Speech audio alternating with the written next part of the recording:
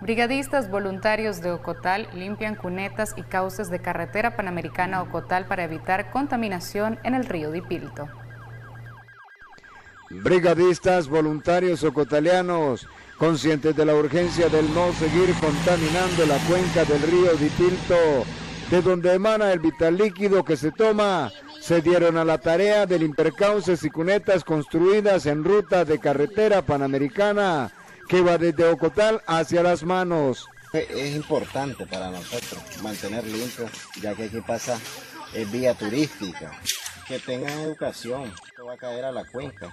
Y recordemos que nosotros no tenemos eh, pozos artesianos, sino que lo servimos de esa cuenca, ¿ya?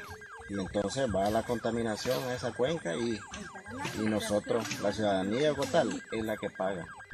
Los preocupados ciudadanos piden a conductores de transporte colectivo, particulares y pasajeros a adoptar una cultura de no botar basura porque se contamina la cuenca y de no aprovechar las correntadas que provoca el invierno para deshacerse de los desechos, no utilizando los medios establecidos para ello, convirtiendo así estos espacios en basureros clandestinos. Sí, presta el vehículo para venir a recoger eh, basura aquí, que la gente no la puede ir a botar al basurero y la vienen a botar aquí aparte que no deben de botar. Pues la ciudad de Ocotal y a la gente hay que educar también para que no anden botando basura clandestina.